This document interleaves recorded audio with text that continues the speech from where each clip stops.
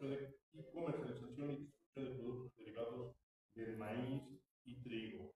Actualmente tiene presencia en países como Estados Unidos, Inglaterra, Rusia, Malasia, Australia y por supuesto México, donde ha instalado sus plantas, unas de ellas en el municipio de Huehuetlán, Puebla. Y gracias a la calidad de sus productos ha logrado consolidarse en nuestro mercado, lo que le ha permitido la expansión que vemos hoy en día.